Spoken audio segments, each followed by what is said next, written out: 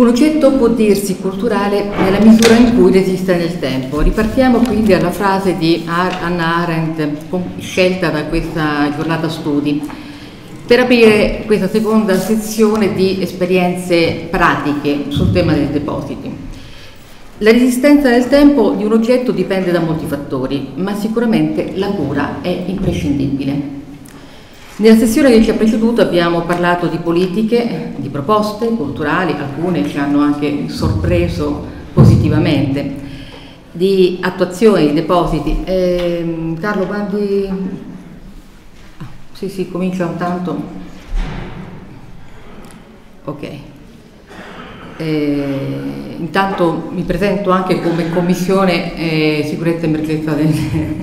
dell'ICOM. E diciamo che mh, mm, diciamo, abbiamo comunque avuto, oh, abbiamo già iniziato a vedere delle esperienze positive.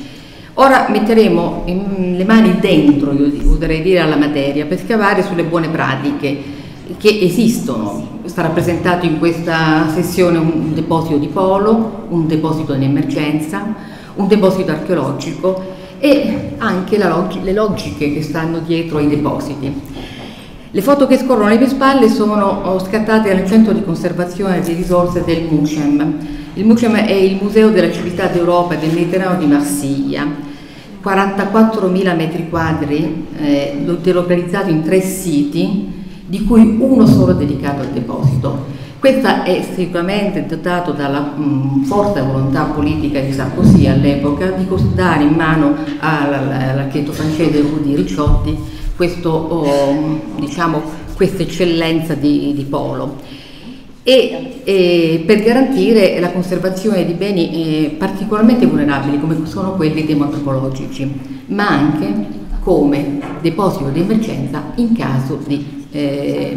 diciamo, di pericoli su tutto il territorio del sud della Francia. Un luogo dove due anni, ogni due anni si tiene un corso di formazione con un'esercitazione in collaborazione con l'Istituto Nazionale du Patrimoine della Francia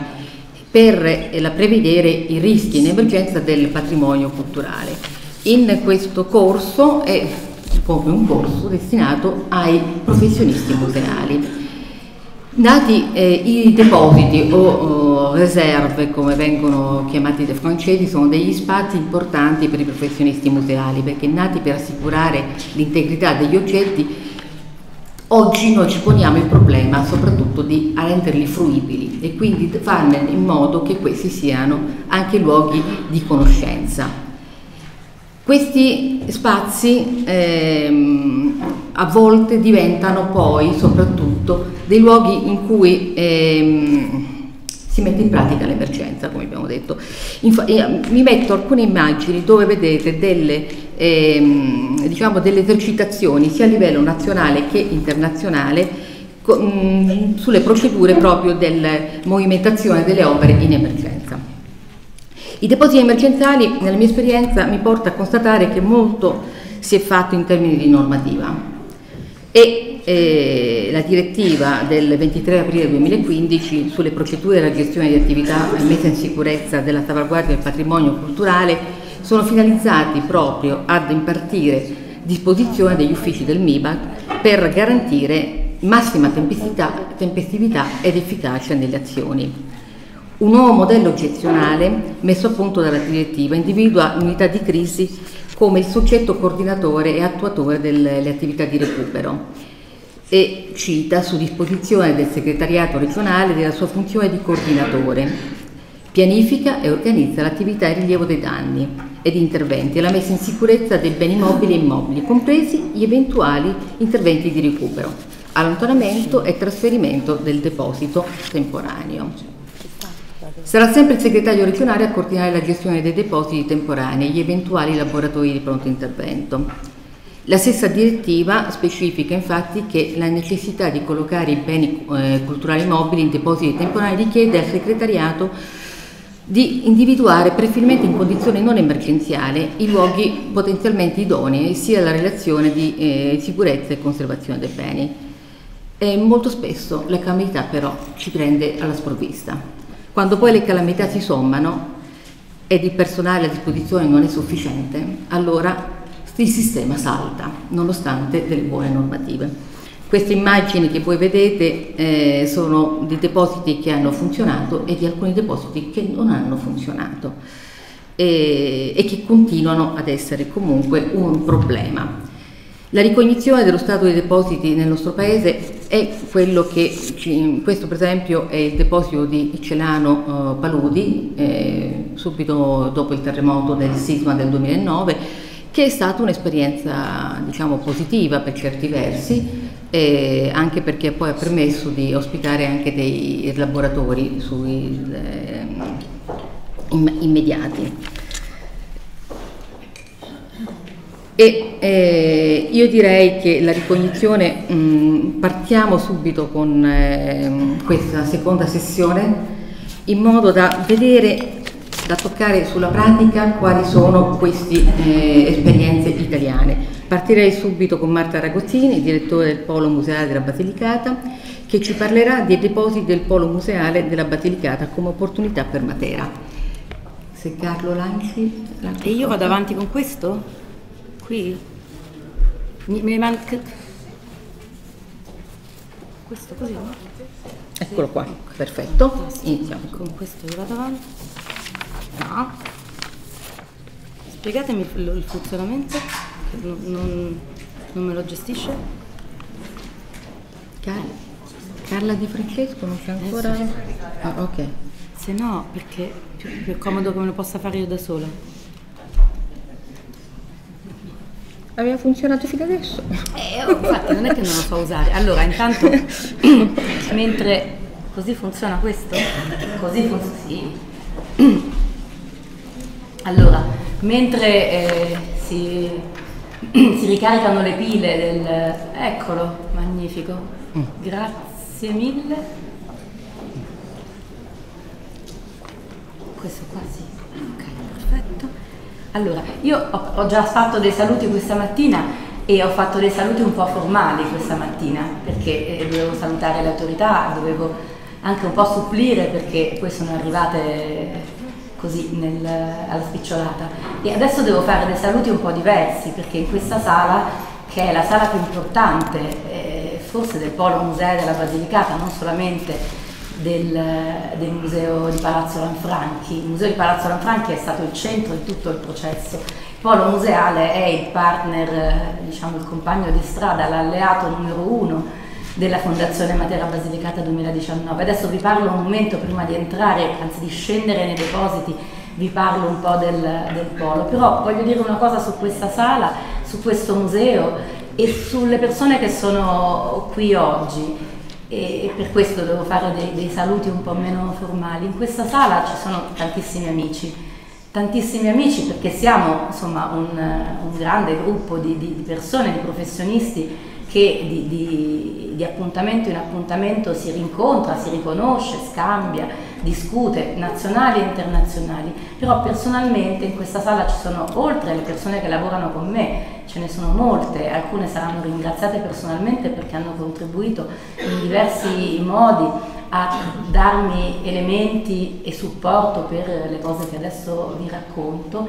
e ci sono anche amici di altri tempi, amici, colleghi, compagni di strada e per me una maestra che sta entrando adesso, arriva per ultima, è Carla Di Francesco, che io devo ringraziare insieme a Cristina Ambrosini. Io e Cristina abbiamo condiviso per diversi anni, non pochi anni nella nostra formazione, molti, un'esperienza molto importante, che è stata quella della direzione regionale della Lombardia, che è stata diretta per bel periodo da Carla. Io posso dire che Carla è stata la persona che dal punto di vista professionale di formazione professionale mi ha insegnato di più. E quindi sono, le sono grata e sono particolarmente contenta che lei sia stata qui anche per, con funzioni eh, insomma, di, di, di, lavoro con noi nelle cose che il Polo Museale sta facendo, io sto facendo, insomma è, è molto confortante eh, ritrovare eh, sul piano lavorativo persone così importanti e sono particolarmente contenta e quindi ringrazio la Presidente di ICOM e la Presidente di questo panel per aver voluto Carla a questo tavolo con me e con Cristina che è diciamo, una situazione abbastanza ricordavamo, con, io e Cristina abbiamo vissuto insieme un'esperienza di segreteria tecnica da archeologa e da storica dell'arte, lei mi diceva che è stata burrascosa ma di grande affetto, ci litigavamo tutti i giorni perché era importante forse anche se uno, questo va detto ai più giovani colleghi, che poi anche dal, dallo scontro, dal confronto diciamo, vibrato, vivo, nascono cose importanti e anche relazioni umane molto solide. E così entro nel, Ah no, poi ci sono tante altre persone, persone che io non vedevo da molto tempo, Alessandra Mottola che mi fa piacere incontrare, Claudia ti chiami? Claudia Baroncini, ho ricordato giusto? Mm. Beh, io penso di perdere la memoria. Claudia Baroncini con cui abbiamo fatto, Carla ti ricorderai quel progetto ad Imola così importante eh, di arte pubblica, insomma, e tanti altri, Martina, Alberta, ci sono tante persone, Adele, tante persone in questa sala che io sono felice di Daniele Giallà che non vedo, poi i colleghi, gli amici, Rosanna Binacchi che arriva da Roma, insomma ci sono davvero le persone dalla Calabria, tanti amici, è bello. E anche in qualche modo una bella emozione ritrovare persone che invece non si vedevano da tanto, da tanto tempo, le relazioni. Eh, il museo, lo, lo, diceva molto bene eh, Daniele, chiudendo, ritornando al museo nella quarta età e parlava del museo come luogo tutto diverso rispetto al, al passato eh, e alle idee che nel tempo abbiamo stratificato. Il museo per me, lo voglio dire, perché così entriamo nel vivo del racconto che voglio fare io, è un luogo di relazioni, è un luogo di relazioni ovviamente con gli oggetti, le opere d'arte, nel caso uh, del, del, Museo Nazionale d'Arte Medievale e Moderna e anche di fotografia adesso che sta nell'arte moderna, di Palazzo Lanfranchi, di, di reperti, di oggetti. Eh, eh, per quanto riguarda gli altri musei del polo museale regionale della Basilicata, adesso di questo voglio dirvi qualcosa, ma in particolare secondo me, secondo il, l'esperienza che io sono riuscito, ho avuto la fortuna di fare in questo luogo, in questi anni così eh, diciamo speciali, così importanti, insieme alle tante persone che eh, hanno lavorato, stanno lavorando con me all'interno, ma anche alle tantissime persone che lavorano diciamo, con eh, attitudini professionali, esperienze professionali, ma non solo all'esterno, posso dire che le, le relazioni più importanti che all'interno dei nostri musei noi dobbiamo riuscire a conservare e valorizzare sono quelle tra le persone. Sono le persone i beni culturali più importanti che noi nei musei, nei luoghi della cultura e nei luoghi poi del, del, della della comunità dobbiamo saper eh, dire, valorizzare, dobbiamo rendere i nostri luoghi accessibili, aperti, eh, come dire, il più possibile inclusivi, tutte cose che sono per noi parole del nostro lessico, parole, posso dire, per banalizzare, un po' delle parole d'ordine, quello che trasmettiamo, trasferiamo alle persone che vengono a lavorare con noi, cerchiamo di trasferire alle comunità sempre più larghe che intorno a noi si, si, si raccolgono. Però questo tema della relazione, questo tema della persona come eh, è una butade, lo sapete, lo capite, insomma è chiaro che... Eh, il discorso è molto più articolato, molto più complicato, molto più raffinato, però pensare che all'interno di un museo il bene culturale più importante da conservare è la persona che ci lavora, che può entrare, che entra in relazione con chi lavora, che entra in relazione con quel luogo che è il museo. E come è fatto il museo, adesso abbiamo tutto il giorno che parliamo del fatto che un museo non è solamente quella piccola percentuale di patrimonio esposto, ma è anche tutto quello che eh, non si vede che si deve conservare. E la persona protagonista di questo racconto, di questa storia di cui stiamo parlando, deve poter entrare in relazione con il luogo, con il contenitore, con quello che c'è sotto il contenitore, con quello che c'è esposto, con quello che c'è invece di non esposto, che fa parte, parte integrante di quel grande racconto. Questo è un po', in poche parole rapide, forse dette con eh, troppa fretta il, eh,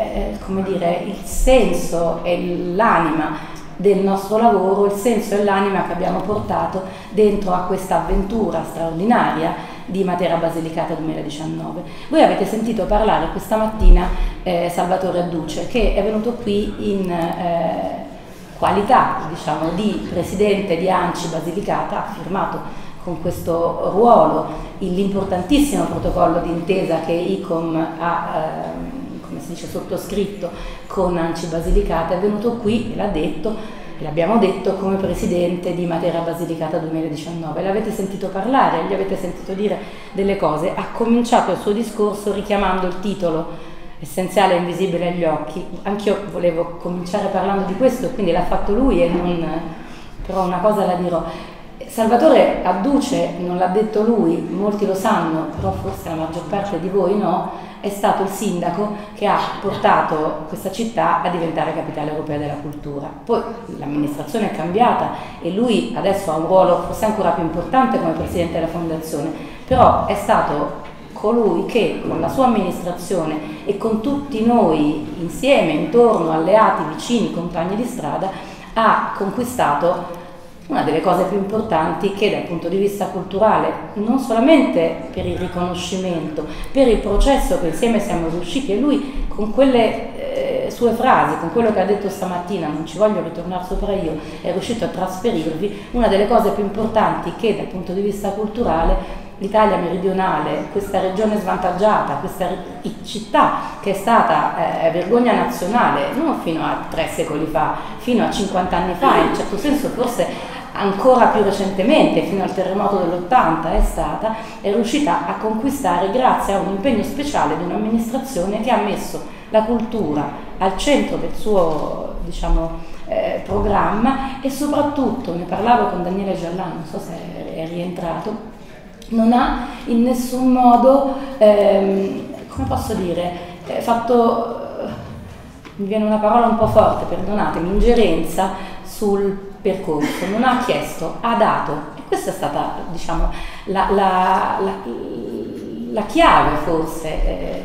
che ha permesso questa cosa un po' straordinaria che dal 2011 al 2014, poi negli anni successivi con altre velocità, eh, Matera e questa regione sono riusciti a fare. E, e, nulla è scontato, il, diciamo, eh, il confronto, il, eh, la sfida eh, e anche poi l'incontro, perché ci siamo inventati Italia 2019, non è stato eh, come dire, facile. Matera è passata nell'ultima selezione insieme a Lecce, ehm, a Perugia Assisi, a Cagliari, a Ravenna, eh, città eh, con una storia, una cultura, un patrimonio artistico, monumentale eh, straordinario. Il, il tema il, come dire, il senso, lo, lo, diceva Duce stamattina, è un po' centrale ancora in tutti i nostri ragionamenti, è stata la proposta, il progetto quello che di diverso eh, questo grande lavoro di squadra è riuscito a proporre non soltanto all'Italia, all'Europa. Cioè l'Europa ha scelto un programma che aveva l'accessibilità culturale, il futuro aperto, la, la, la trasformazione in non più consumatori di cultura, non più visitatori di musei, ma in cittadini culturali, in cittadini temporanei di luoghi sempre più aperti, sempre più capaci di ehm, produrre cultura e produrre cultura insieme, non far fruire cultura, non far consumare cultura, non vendere cultura. Questo è un po' il, il, quello che volevo premettere, poi il mio tempo me lo sprecherò con questi discorsi eh, introduttivi. L'essenziale è invisibile agli occhi, potrebbe essere un po' un paradigma di questa città. Voi sapete che Matera non è solamente quello che si vede, Matera è soprattutto quello che non si vede, l'invisibile che c'è sotto a questo visibile. Domani se eh, visiterete, insomma abbiamo previsto insieme alle amiche di ICOM che sono state così eh, brave una serie di, di percorsi, di possibili, di possibili, itinerari, uno di questi comprende un, eh, come dire, un, per, un, un ipogeo, un lunghissimo ipogeo che passa sotto a questo palazzo parte da quel piccolo terrazzino nel quale qualcuno di voi era uscito prima di fare la visita al terrazzo piazza, da lì si scende, c'è una scala che porta nelle viscere della terra e si esce dall'altra parte sulla strada che fiancheggia dall'altro lato il nostro museo. Bene, abbiamo aperto negli ultimi mesi, per il 19 di gennaio, quando si è inaugurato il programma culturale di Matera 2019, per la prima mostra Ars Excavandi abbiamo aperto questo ipogeo, troverete capirete, magari visiterete solo questo ipogeo, già questo fa capire quanto invisibile, quanto vuoto permette di vedere quel meno di visibile, quel pieno che c'è sopra, che è un po' il, il tema, il simbolo, il cuore del nostro, del nostro discorso, tutte le cose che si sono dette questa mattina sul rapporto tra, tra eh, patrimoni nei depositi e patrimoni esposti, nel rapporto diciamo, ehm, virtuoso, importante attraverso le azioni che sono state enumerate, il, attraverso le, le, attenzioni che dobbiamo riservare, il rapporto virtuoso che si deve innescare e deve essere, eh, come dire, tematizzato e diventare proprio una delle, delle, delle, delle, chiavi del nostro lavoro tra il patrimonio in deposito e il patrimonio esposto. E sempre eh, Giallà prima diceva in modo scherzoso, ma che scherzo non è, il patrimonio immateriale abbiamo la fortuna che, fortuna, che eh, ce lo possiamo dimenticare, che quindi si... Eh, si stratifica ma si può perdere quindi noi dobbiamo saper conservare le tradizioni, tutto quello che però possiamo anche perdere qualcosa. Il patrimonio materiale è sempre di più quello che si accumula, noi dobbiamo dialogare con questo patrimonio che si accumula. Certamente non tutto potrà mai essere esposto, non tutto potrà mai essere perché è, è un'altra parte che dobbiamo saper conoscere, è un'altra parte con la quale dobbiamo saper eh, come dire, confrontarci, rapportarci, tenere nel modo migliore, addirittura qui gli archeologi mi spiegheranno, forse qualcosa a un certo punto lo potremmo anche restituire alla terra, forse non tutto quello che viene scavato e deve essere capito e che ci serve a comprendere meglio la nostra storia dovrà essere necessariamente conservato. Però, allora, e, e Tiziano Maffei ha utilizzato per illustrare il suo bellissimo intervento delle eh, fotografie d'autore che raccontano una mostra che di cui non ci ha detto nulla per invitarci ad andarla a vedere. E io utilizzo, noi utilizziamo per questo rapido excursus nella nostra piccola storia eh, anche delle fotografie eh, che eh, arrivano da un progetto molto importante di una committenza eh, fatta recentemente dal Polo Museale grazie a uno degli ultimi passaggi del piano dell'arte contemporanea. Abbiamo incaricato 10 fotografi del territorio che comunque eh, abbiano avuto a che fare con il nostro territorio, fotografi di diversa eh, età, di diversa esperienza, eh, di diverso linguaggio, da Mario Cresce e Francesco Radino a arrivare a, a alcuni giovanissimi interpreti e vedrete alcune cose molto interessanti. Abbiamo, um, come si dice, viene la parola, um, affidato, ma non è la parola giusta, assegnato a ciascun fotografo uno dei nostri dieci musei. Uno dei, degli obiettivi che in questi anni ci siamo dati eh, immediatamente capirete perché, è quello di mettere in rete realmente i non molti musei che fanno parte del, eh, della rete del Polo Museo della Basilicata. Il Polo Museo della Basilicata è uno dei poli più piccoli, molto sotto i riflettori in questo momento per le ragioni che sapete, e uno dei poli più omogenei perché è composto prevalentemente da musei archeologici al centro c'è il Museo Storico Artistico, questo dove noi siamo, intorno ci sono 10 musei archeologici, 9 musei archeologici, poi ci sono alcuni altri luoghi della cultura, però la caratteristica principale di questo nostro sistema è che è un sistema archeologico. Io non sono un'archeologa, sono una storica dell'arte, ho la fortuna di avere da non molto tempo alcuni archeologi che lavorano con me, che hanno contribuito a discutere, a insomma, trovare gli elementi per realizzare anche questa presentazione. Sono Erminia Lapadula che è qua oggi, Savino Gallo che invece non, non, è potuto essere presente, Mara Romagnello che è a Potenza, con loro Antonella Iacovino e altre eh, persone che si occupano dei musei, ringrazio anche Tonia Giacoia che è un'amministrativa che si occupa degli aspetti giuridici. E, mm, e con loro stiamo eh, organizzando, questa è la conclusione del, del, racconto che vi voglio fare, un'esperienza eh, pilota, speriamo, di accordo con la consorella soprintendenza diretta dall'architetto Francesco Canestrini per eh, risolvere nel modo più intelligente, concedetemelo, la eh, questione difficilissima della consegna eh, dei depositi, eh, che è uno dei temi centrali eh, del dell'attuazione della riforma Franceschini. Eh, la riforma Franceschini dovrebbe essere eh, attuata da diversi anni, il termine ultimo per eh, l'assestamento e appunto la cosa più difficile, la consegna dei depositi dalle soprintendenze ai poli museali nati eh, nel, con il PCM dell'agosto del 2014 e poi definiti all'inizio del 2015, siamo all'inizio del 2019, sono passati quattro anni, quindi non un tempo piccolo, un tempo lungo. E il secondo decreto ministeriale che dava le, le coordinate, eh, le indicazioni eh, per le azioni che dovevano essere svolte prevedeva come termine ultimo il 31 dicembre del 2017. Non mi voglio tediare con questi eh, elementi diciamo, normativi e amministrativi, credo che la maggior parte dei presenti queste cose le, le, le conosca molto, molto, bene, però è importante per capire il,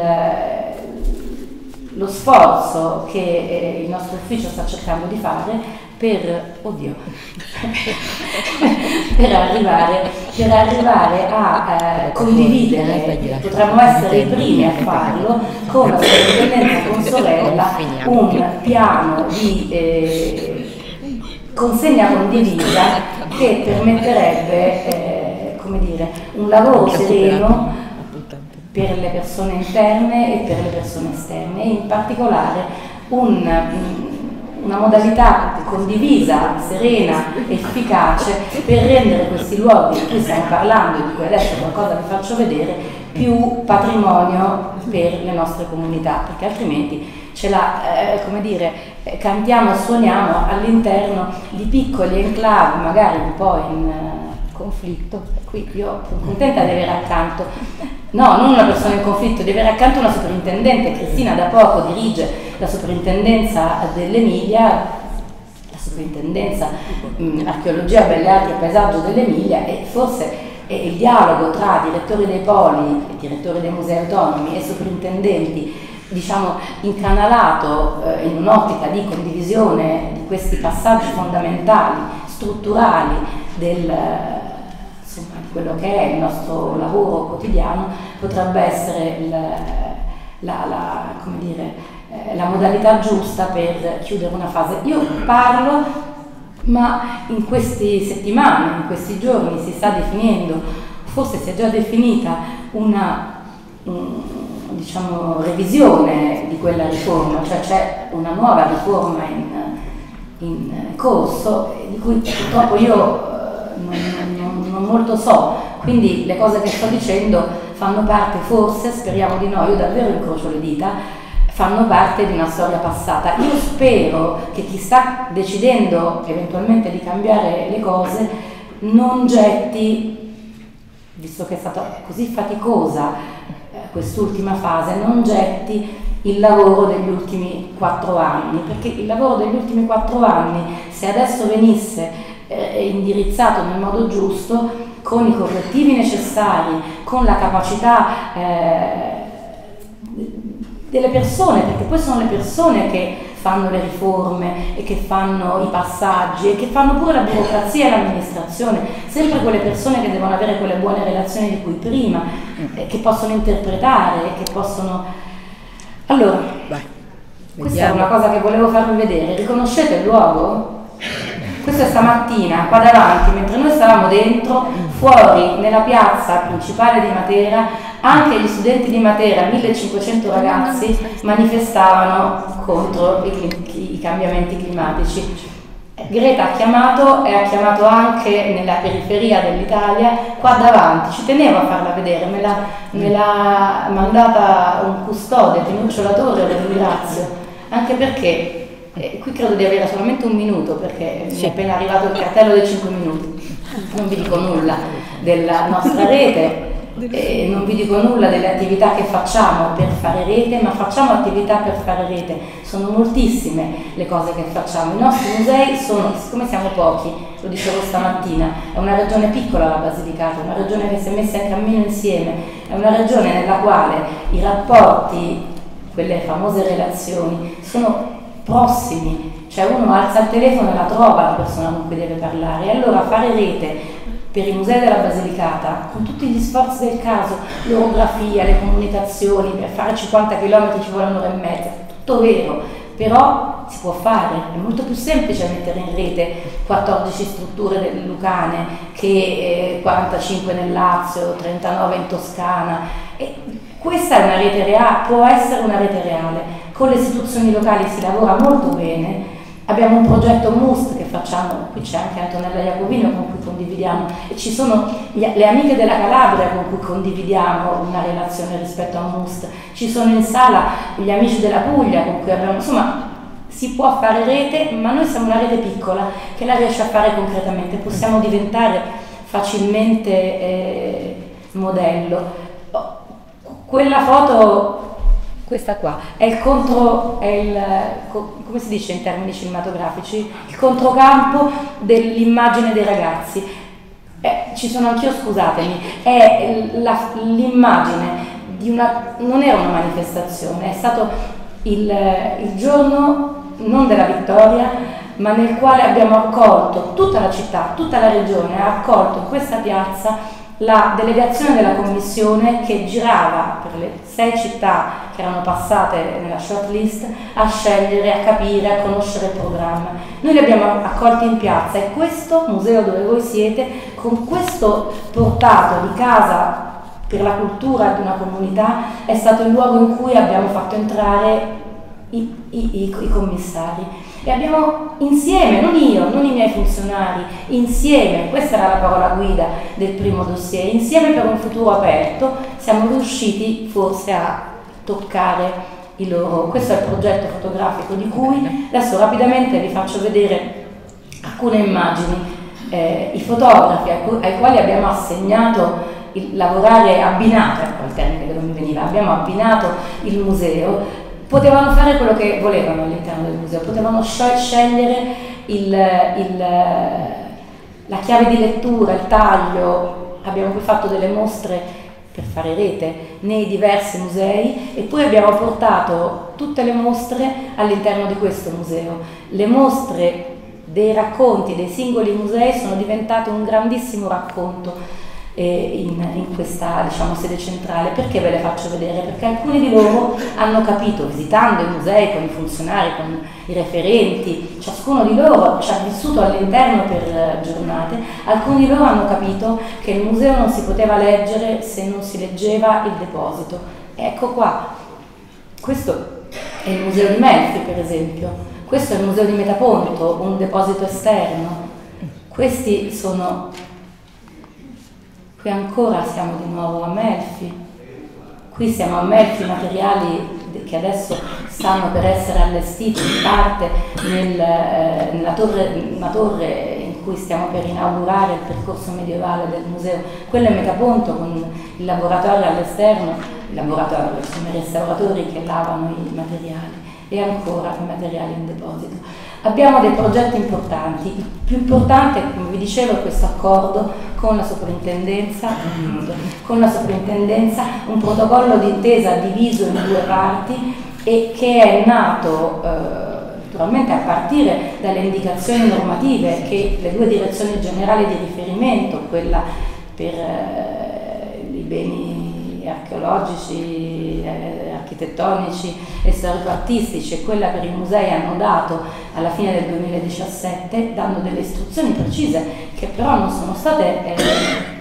sostanzialmente seguite, hanno creato in tutte le realtà territoriali, in tutte le regioni, molta difficoltà. Qual era il tema? I, i, i, le soprintendenze, in particolare per quanto riguarda i musei archeologici, ma non solo, devono consegnare, conoscete il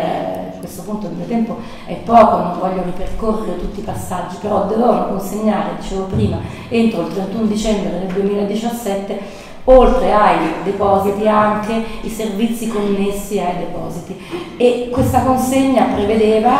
che questo diceva, dice la norma, che i materiali invece che provengono dagli scavi in corso o da scavi eh, conclusi da meno di dieci anni rimangono fino al compimento del decimo anno in consegna alle soprintendenze. Le soprintendenze dovrebbero trovare degli altri luoghi, fare degli altri depositi, dividere contesti, separare i beni. La proposta che noi abbiamo fatto alla soprintendenza è quella di mantenere questi contesti uniti, di mantenere questi depositi così come sono, lavorare insieme all'interno dei depositi, dandoci delle regole condivise, naturalmente facendo quello che la norma prevede, quindi consegnando con una consegna aperta il, i materiali e i servizi al, al, al, polo, ma mantenendo la possibilità di lavorare insieme all'interno di questi nostri depositi per conoscere, per inventariare, per catalogare da dove serve, per fare con gli SCR, ringrazio molto anche Giorgio Sebra che è qui, uno dei progetti e uno dei loro PON importanti,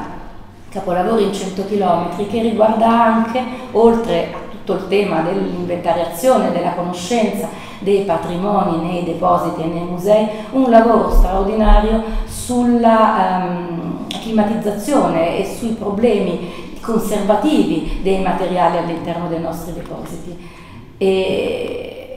vado velocemente, sì. voi vedete di che cosa si, si, si, parla, questo è il Museo di Metaponto, concludo dicendo che eh, i depositi devono, devono, essere aperti, devono essere aperti e vissuti eh, e anche eh, proposti alle comunità come luoghi eh, di scoperta, di conoscenza, di, di, di dialogo. Naturalmente bisogna farlo in sicurezza, bisogna farlo con eh, gli strumenti giusti, bisogna farlo anche facendo capire che non è assolutamente la stessa cosa andare a visitare un museo ben organizzato, vedevamo le, le le immagini questa mattina e entrare all'interno di un deposito in cui ci sono, nel caso eh, che avete visto, nei casi nostri, cassette ben, ben, ben disposte, però cassette aperte poggiate sugli scaffali. La ultima mostra di Matera Basilicata 2019 si chiama Blind Sensorium ed è la mostra di uno dei, degli artisti, dei fotografi più importanti del nostro tempo, Armin Link, un artista tedesco, forse qualcuno di voi l'ha sentito nominare, si svolgerà anche nei depositi del Museo Ridola. Il Museo Ridola è il Museo archeologico nazionale di Matera, dall'altra parte della strada, e adesso vi faccio vedere rapidamente, sono proprio bozze di, di, di lavoro. Ah, non torna indietro, niente, non torna indietro. L'idea che Armin ha eh, di percorrere eh, i depositi mettendo, facendo come dire, eh, focus sui materiali eh, conservati, ma alternando materiali conservati al racconto, e arriviamo a ritorniamo al cambiamento climatico, al racconto dell'antropocene, della crisi dell'antropocene e come questo racconto moderno, questo racconto di oggi che parte dall'archiviazione di materiali video, documentazione, interviste, eccetera, che negli anni Armin ha stratificato, come può dialogare con le testimonianze più antiche paleolitiche neolitiche di questo territorio che il, il deposito straordinario del Museo Rido, la ringrazio moltissimo Antonella Carbone che è qui, conserva. Ecco qua un esempio nell'anno della cultura di come lavorando insieme, mettendo a sistema le nostre capacità, i nostri sogni, la nostra visione e la, la capacità di trasformazione che questo territorio un po' periferico è riuscito a mostrare, possiamo parlare di depositi in un modo nuovo, possiamo rendere i depositi vivi, dinamici e funzionali, se mi concedete il termine, ad una trasformazione fortissima anche degli allestimenti dei musei. Grazie. Grazie Nanca per questo tuo accorato appello anche alla comunità eh, museale di, e a questa insomma diciamo abbiamo introdotto il tema dell'ordinario con effetti speciali, però mi sembra altro che ordinario. E lascerei la parola velocemente ad Carla Di Francesco, direttrice, direttore della, Fondazio, della Fondazione per la Scuola dei Beni e delle Attività Culturali, che ci porta a un'esperienza eh, di eccellenza dell'emergenza invece. Parleremo della Regia di Sassuolo. Grazie. Mi metto qui, qui o... Sì, faccio così in modo che più... Mm? Sì, perfetto. Bene. Bella. Grazie. Eh, e appunto arriviamo da, da, un ordinario con effetti speciali a un eh, purtroppo straordinario che periodicamente tocca all'Italia. Qui siamo eh, nella eh, Emilia del 20, 21, 22 maggio 2000, eh, 2012, eh, il sisma che in due momenti, appunto 20 maggio e 29 maggio, ha colpito tutta la zona eh, più o meno corrispondente alla provincia bassa di Modena, l'Alto Ferrarese, con delle propagini sostanziose su Bologna, sulla provincia di Bologna e un po' minori di Reggio Emilia. Eh, queste sono immagini che io scorro perché ehm, eh, purtroppo le abbiamo viste sui media e purtroppo eh, le eh, continuiamo a vedere periodicamente in Italia, quindi eh, semplicemente i vigili del fuoco che insieme ai nostri eh, funzionari qui non presenti, ma insomma lo sono qui, si recano sui luoghi, svolgono le eh, verifiche del caso e quando le condizioni di sicurezza lo permettono,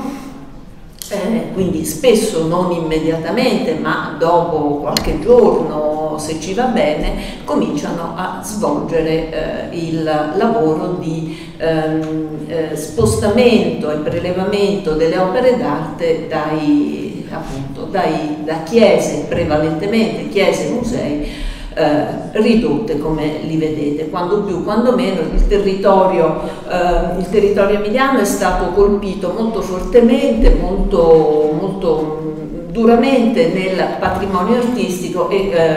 particolarmente nelle chiese eh, e ehm, poi è stato reso abbastanza famoso anche per eh, la, eh,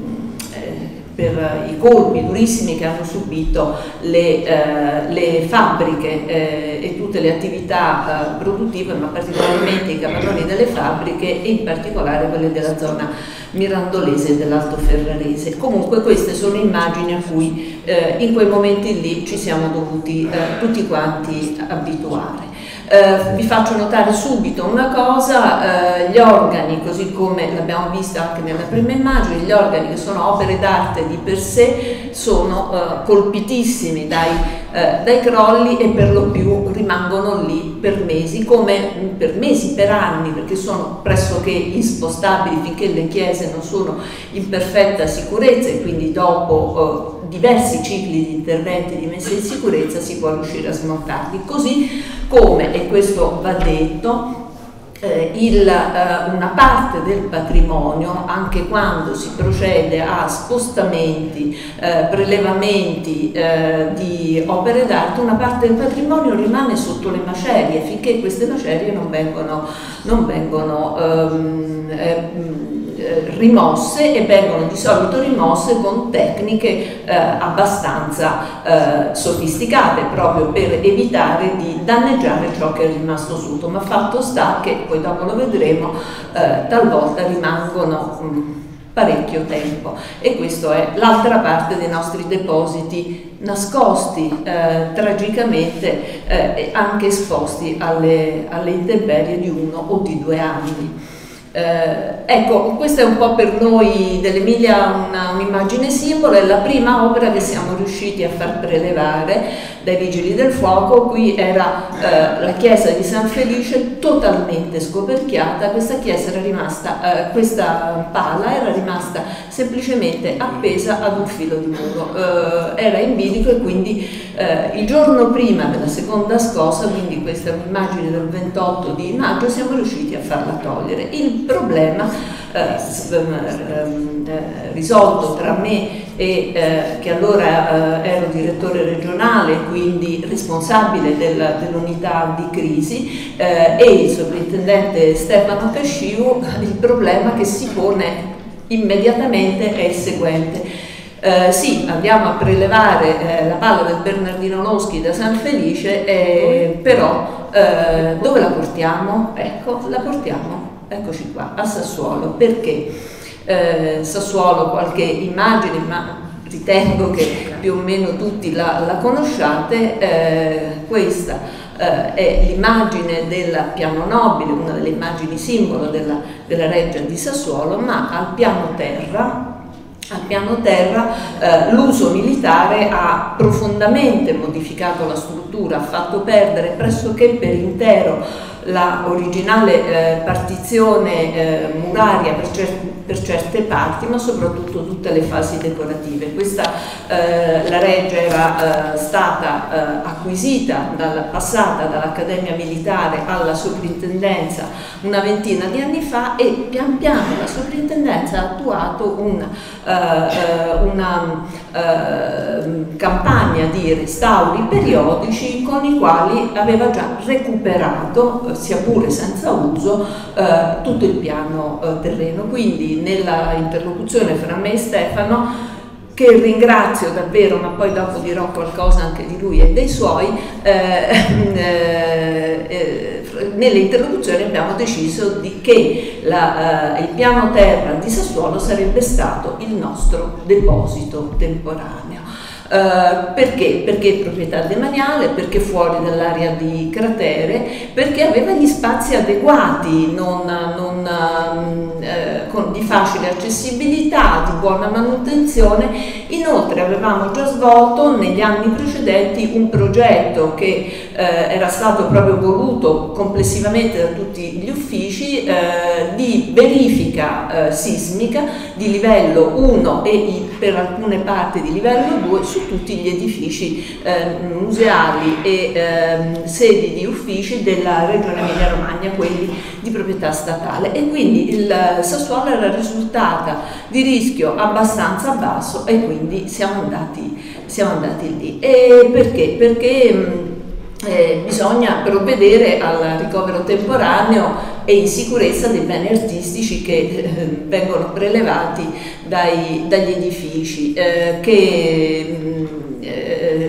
bisognava eh, pensare ad evitare la dispersione ed eventuali rischi da furto, eh, poi bisognava eh, censire ehm, le opere e classificarle in base al danno subito per poi provvedere eh, alle azioni di immediato intervento di messa in sicurezza. Ehm, ecco un piccolo passo indietro, eh, ci siamo organizzati come vi dicevo in unità di crisi ma ciascuno con il proprio, con il proprio compito e devo dire eh, che ehm, la eh, unità di intenti, la capacità tecnica ma anche relazionale ed umana fra chi ha operato sul campo fra sovrintendente, direzione, eh, funzionari è stata un po' eh, secondo me anche uno degli elementi vincenti di questa operazione. Ci siamo intesi immediatamente e la direzione regionale ha svolto il suo, cioè ha provveduto i fondi, ha provveduto a fare le immediate gare laddove servivano per gli interventi di ehm,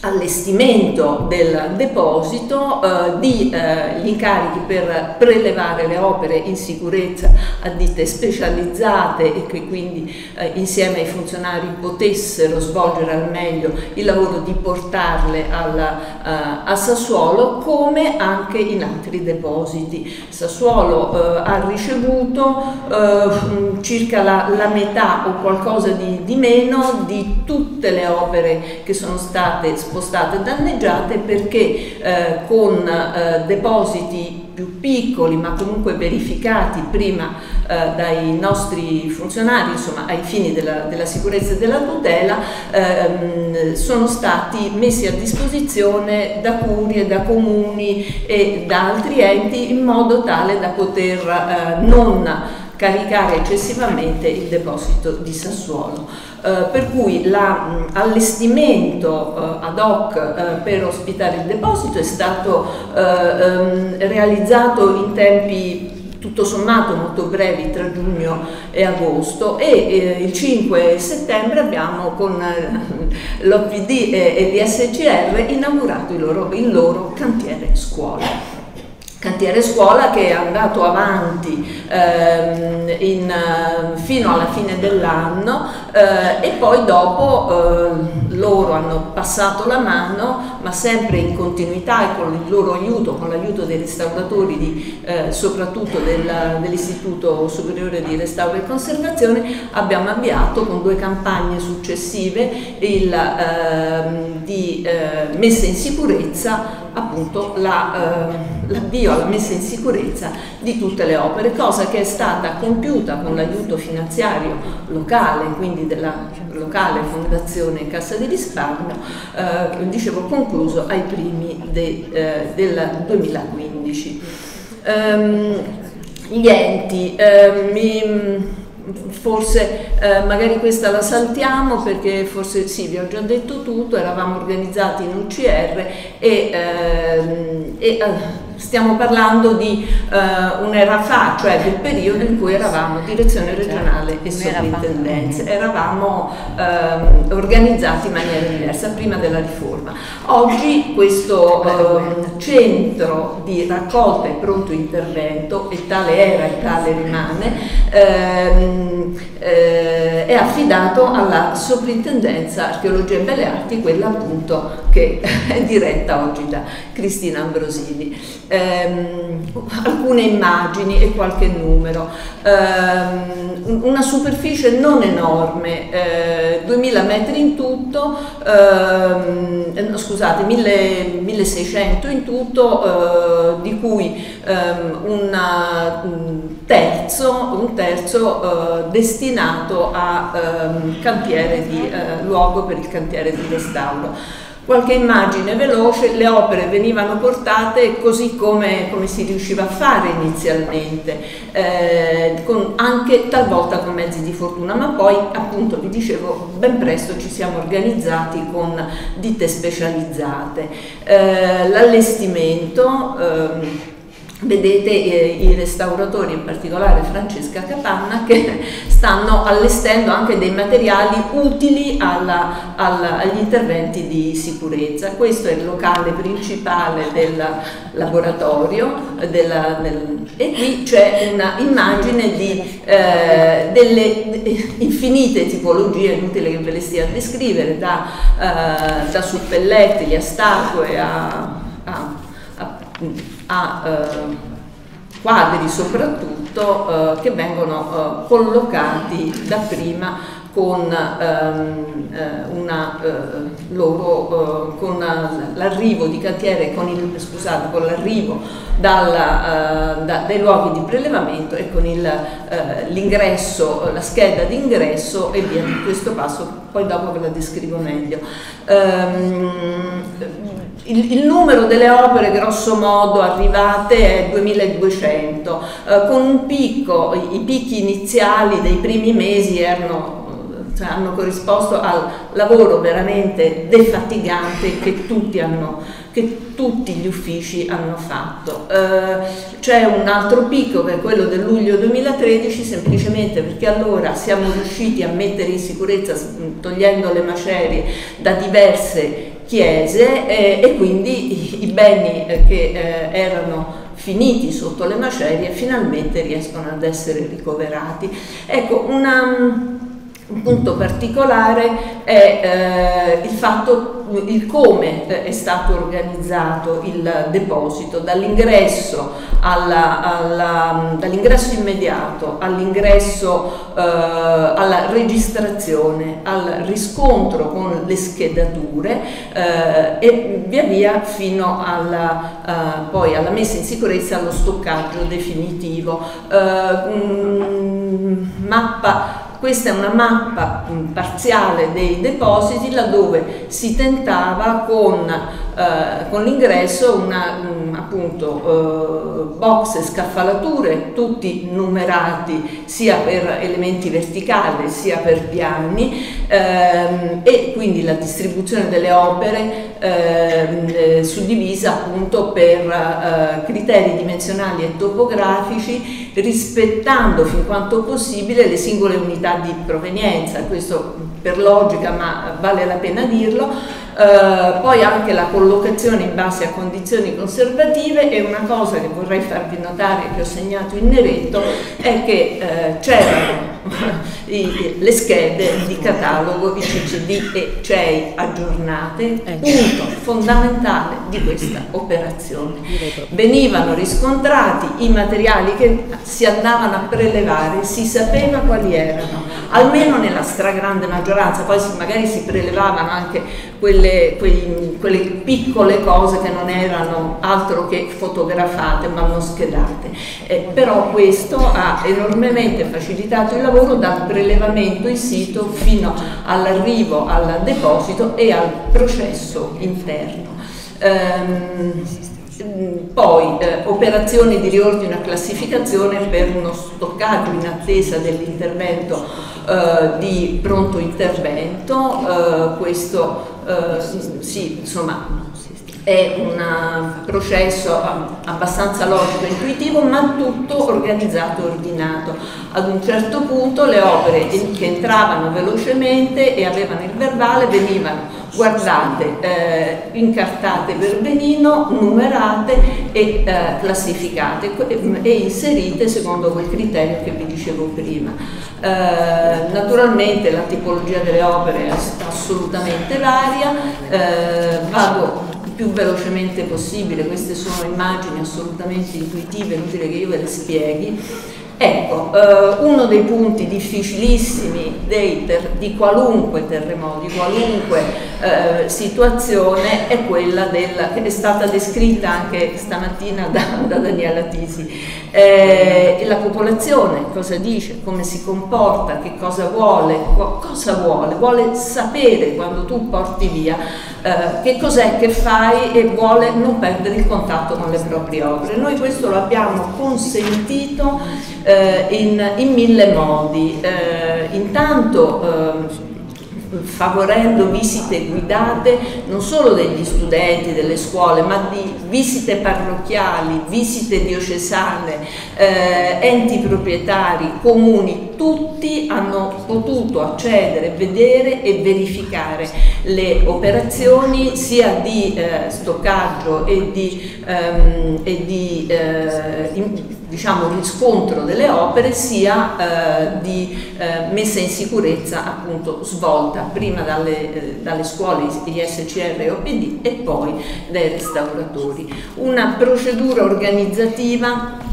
eh, la, la, vi, vi, faccio vedere velocemente quello che eh, veniva fatto eh, per, primo, eh, per, le prime operazioni, eh, naturalmente la scheda di pronto intervento. La scheda di pronto intervento che poi, secondo le istruzioni ministeriali, veniva eh, anche a indicare qual, è, qual era la necessità successiva di intervento faccio più che, più che veloce. Eh,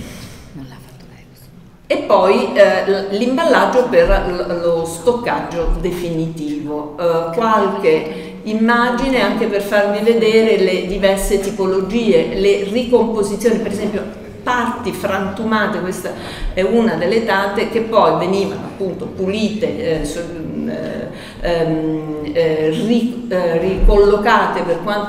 per, quanto possibile, ma le parti impossibili da ricollocare o forse anche inutili vengono imballate e rimesse insieme all'opera per poi essere eh, consegnate al restauratore definitivo, diciamo così. E quindi queste sono eh, le ehm, operazioni di, eh, successive di stoccaggio definitivo e credo che le opere, Cristina, siano più o meno ancora così, a meno di quelle prelevate.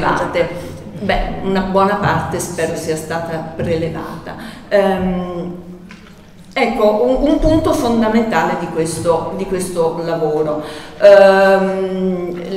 eh, l'uso di un sistema informatizzato che dalla schedatura dell'oggetto già esistente ne riscontra lo stato, eh, lo stato di, ehm, di, necessità e di pronto intervento con tutta la documentazione del caso e una georeferenziazione utile a ritrovare gli oggetti anche dentro il deposito. Per cui se il proprietario o lo studioso o il funzionario della sovrintendenza vuole andare a vedere, c'è la possibilità, usando il sistema SICAR, di ritrovare l'oggetto oggi messo in sicurezza dentro, eh, dentro il deposito, anche solo con una visione topografica. Eh, il piccolo miracolo, vabbè, ve lo mostro così, ma arrivo, mi avvio subito alle conclusioni. Posso dirvi che questo piccolo miracolo è stato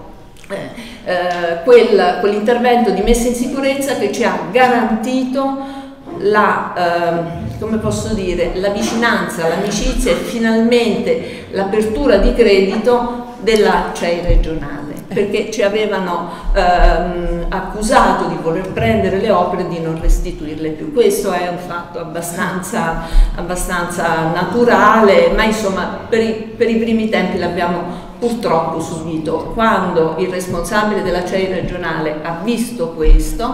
non, tanto non credeva ai suoi occhi e poi gli ho visto spuntare una lacrimuccia e confesso che quello è stato un momento molto, molto importante. Ecco, um, ecco un, um, mi avvio appunto a conclusione, eh, questa operazione è stata positiva secondo ai nostri occhi, intanto forse anche per numeri non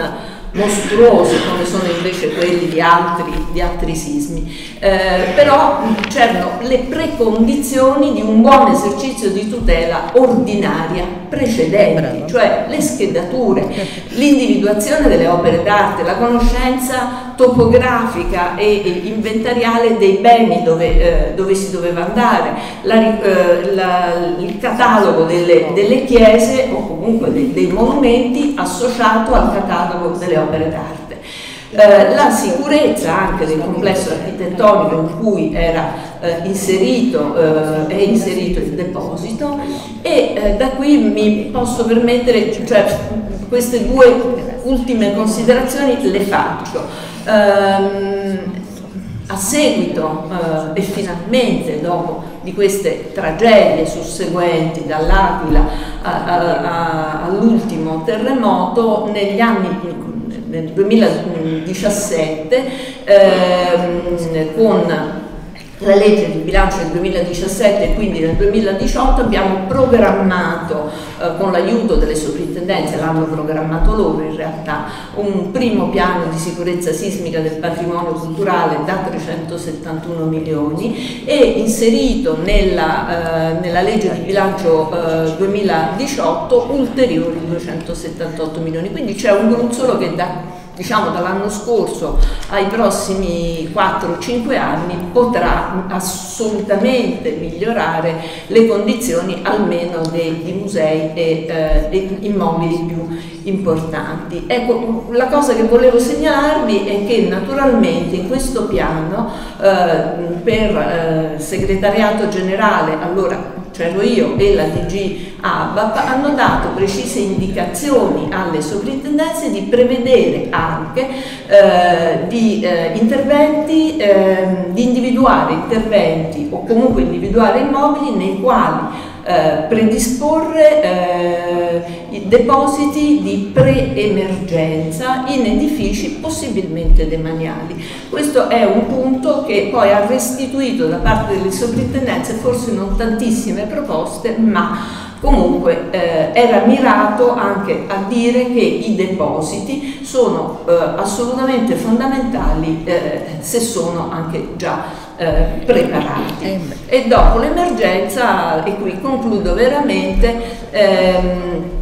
eh, posso dire che eh, l'esempio anche eh, tra l'altro pubblicato nel nostro libro eh, di rapporto dei primi sei mesi dopo eh, il sisma è stato seguito e ehm, è stato seguito anche grazie alla continuità eh, che è stata garantita dagli interventi OPD e, ehm, e ISCR e posso dirvi anche che eh, il caso del Santo Chiodo di Spoleto è forse un precursore del deposito sassuolese perché la regione ehm, Umbria dopo il terremoto del 97 aveva realizzato, eh, proprio costruito il deposito di Spoleto eh, però purtroppo lì non hanno la schedatura, eh, non hanno la schedatura dei, dei, dei beni. Ecco, um, due, eh, due, piccole indicazioni eh, su questo, eh, questo, tema dei depositi ma anche più generale evidentemente del come affrontare un sisma. Ci sarebbe voluto e ci vorrebbe saremmo sempre in tempo a fare una, una riflessione più complessiva, eh, eh, mettendo insieme i buoni esempi tecnici e organizzativi, perché l'organizzazione è un punto assolutamente fondamentale di, di momenti come questi e da qui ci si porterebbe dietro, e qui divento la direttrice della scuola, eh, eh, una formazione di gruppi di tecnici ad hoc, perché non possiamo pensare che tutti i tecnici e tutto il personale del Ministero o tutti i volontari o tutti i funzionari dei comuni siano o si improvvisino esperti in quei momenti bisogna arrivare a squadre tecniche magari regionali, ma che comunque i primi momenti siano in grado di impostare l'intervento, l'intervento complessivo e quindi anche l'organizzazione dei depositi in emergenza. Lì ancora non ci siamo arrivati e purtroppo ad ogni terremoto se non si inizia da zero è quasi, eh, forse sui depositi non proprio, eh, abbiamo fatto forse un passettino avanti, grazie. Grazie a Carla Di Francesco perché innanzitutto ci ha portato una testimonianza per me molto importante, dico, cioè, che in mezzo a tante tante cose che non vanno qualcosa va. E soprattutto l'Italia impara dai propri errori, piccoli passi li stiamo facendo. Io direi anche la scuola di formazione è fondamentale, ci sono tante esperienze, tanti terremoti che ci hanno insegnato ogni volta ad mettere e migliorare, soprattutto una cosa fondamentale, e questa io la sottolineo, è che i rapporti, le relazioni umane sono alla base di una buona logistica, perché la logistica senza relazioni umane non può funzionare anche lo stesso. Saremo, questo sicuramente l'abbiamo imparato e il testimone passa adesso a Cristina Ambrosini che lo passa fisicamente in quanto oggi è sovrintendente dell'archeologia quindi il, e ci racconterà anche in questo caso come i rapporti umani poi sono, i rapporti relazionali, i rapporti fra le istituzioni. Mi è piaciuto molto questo mh, dire che la CEI ha avuto fiducia, la CEI ogni volta deve essere stimolata ad avere fiducia, ma saputa, insomma, se riusciamo a creare questi rapporti in precedente, sicuramente le cose sono più facili. Eh, grazie e Cristina la, la parola. Grazie. Grazie. Mi, non si sente. Vai. Va bene. Okay. Sì, prendo, prendo il testimone. Eh, da Carla Di Francesco in questo momento perché chiaramente come è stato detto eh, il centro di raccolta di Sassuolo come attività appunto è ancora eh, in azione e diciamo siamo entrati tra virgolette nella fase ordinaria dell'emergenza, questo gioco di parole, con eh, alcune difficoltà legate alla riforma no, che tra Capocollo si è messa e quindi di riorganizzazione dell'attività. Non parlerò di questo perché mi è stato chiesto, visto che io sono un archeologo, almeno lo ero tanto tempo fa, facevo l'archeologa, di inserirmi eh, nel discorso così caro a noi da tanto tempo dei depositi museali con i depositi archeologici, però appunto ci tenevo a un riaggancio per dirvi quanto appunto la riflessione è, sia in corso attualmente perché eh, il centro di raccolta di Sassuolo, volevo dire, ha cominciato da, dopo il 2015 a restituire goccia a goccia eh, le, le, opere che sono attualmente eh, in alcuni casi presso i laboratori di restauro per quelli definiti appunto interventi di restauro eh, perché seguono l'andamento e il cronoprogramma del, dei lavori sui contenitori no? per, per, prepararsi a tornare nel, nei contesti originari laddove possibile sempre prioritari. In altri casi eh, siamo entrati ora nelle fasi dei progetti esecutivi eh, dei, dei, progetti di, di, di restauro dei beni immobili e quindi di conseguenza all'interno appunto dei progetti e delle possibilità di migliorie richieste, vi è anche per fortuna vi è stata l'attenzione dei soggetti proprietari, dei soggetti finanziatori a prevedere interventi sui beni mobili. Quindi questo lavoro del centro di raccolta eh, continua e stiamo appunto considerando la possibilità assolutamente fattibile di mantenerlo come centro di raccolta di pre-emergenza con una possibilità di servire un'ordinarietà museale eh, sovralocale in certo qual modo e penso sia un'altra interessante sfida all'interno di eh, ovviamente mh, beni e contesti come avete visto il Palazzo Ducale di Sassuolo che non proposti certamente nelle premesse degli ottimi spunti che abbiamo avuto stamattina. I nostri contesti sono spesso e volentieri i depositi dentro edifici tutelati, dentro edifici che loro stessi sono beni culturali e quindi non partiamo da zero. Ecco, mi calo subito nella, uh, nelle caratteristiche, nelle peculiarità uh, della, dei depositi di scavo, dei depositi archeologici, perché ho pensato queste mie questa manciata di slide eh, partendo dal caso di Imola, ma anche qui vi dico il caso di Imola è assolutamente un caso che mi, ha, eh, che mi è stato chiesto di, di presentare perché ha tutti quegli ingredienti pronti per germinare bene e per svilupparsi in un'ottica di deposito attivo, di arca del patrimonio, intesa anche per porci una riflessione sul tema dei depositi museali, in particolare archeologici in questo caso, ma non voglio tornare sul tema tipologie, sempre in un'ottica patrimoniale, ok? Eh, in che senso? Nel senso che eh, ci riporta alla questione de, eh, deposito che non, sono, non, è solo una struttura fisica, ma è un servizio fondamentale, un elemento vitale, il cuore vero del museo e che lega il museo al territorio e quindi torna in capo in maniera preponderante il livello della tutela, no? il concetto di tutela, di una tutela che però va fatta eh,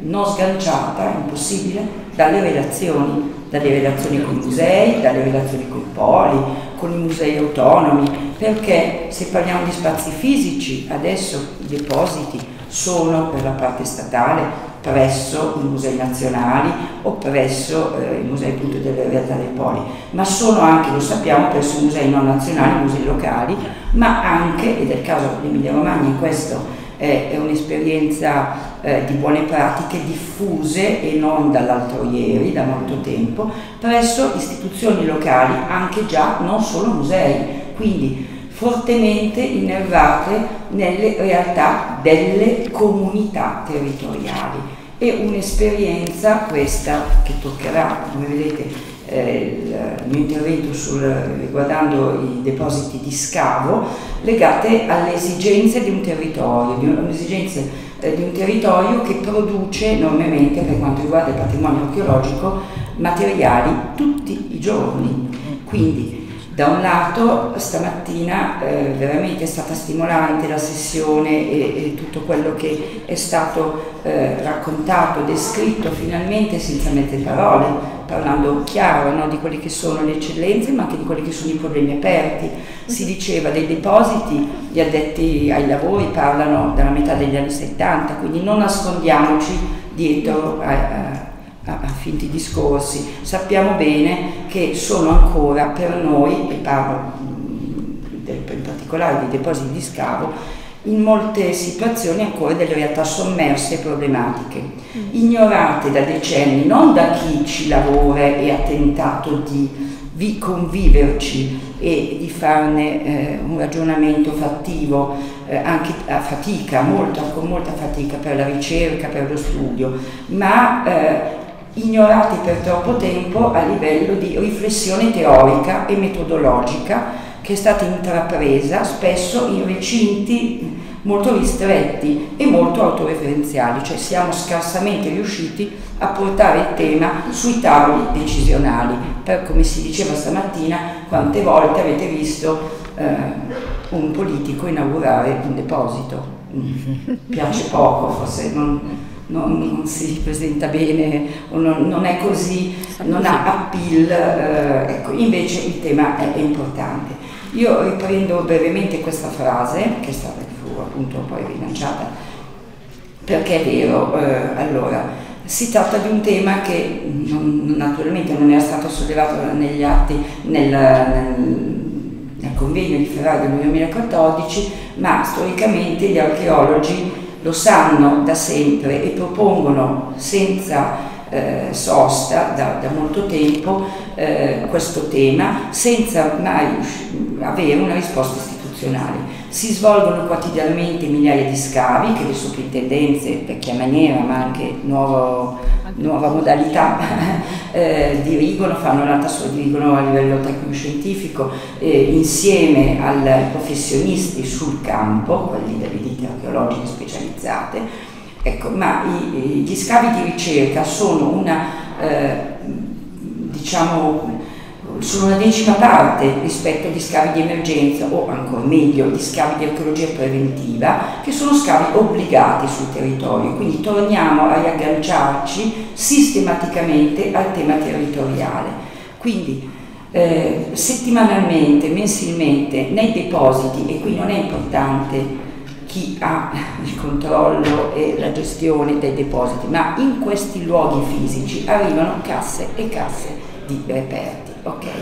Quasi mai il poscavo, o meglio, non è così vero, sto semplificando, ma il poscavo prevede tutta una serie di azioni che fa arrivare adesso i materiali molto più puliti di come arrivavano vent'anni fa, molto meglio organizzati nella separazione eh, dei materiali organici e dei resti ceramici per le varie tipologie di materiali. Non è questo il punto ma arrivano quantità enormi di materiali diversificati anche nelle dimensioni, nelle caratteristiche, nella possibilità di essere movimentati e è vero,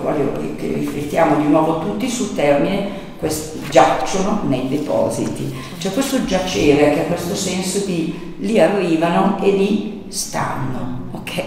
Stanno in una modalità che eh, certo con cura, con attenzione, con molta immaginazione spesso eh, portano a trovare degli spazi eh, ricavati, ok? Ma non progettati o pensati prima. Quasi mai abbiamo la possibilità no, di ragionare in questi termini. E questo è tanto vero per i musei nazionali, abbiamo visto no, dalle fotografie che quelle, quelle vere, quelle l'altro lato della medaglia di stamattina, eh, per i musei nazionali ma per i musei non nazionali. Ci sono eh, depositi ben organizzati a tutti i livelli, già ben organizzati in maniera ordinaria grazie alla volontà e alla capacità professionale cresciuta negli anni di esperienza molte volte e qui sto parlando già di personale che è un valore importantissimo e che nel giro di mesi o anni, pochi anni noi stiamo per perdere a tutti i livelli ma non per perdere perché, perché ci stanno lasciando perché hanno dato il loro contributo e vanno in pensione. Ecco tutta questa capacità fattiva e organizzativa noi la dobbiamo far valere come valore e deve produrre un, qualcosa di nuovo ma di più sistematico. I reperti giacciono nei depositi e adesso veramente per quanto riguarda i depositi archeologici io sono convinta che siamo ad un livello di emergenza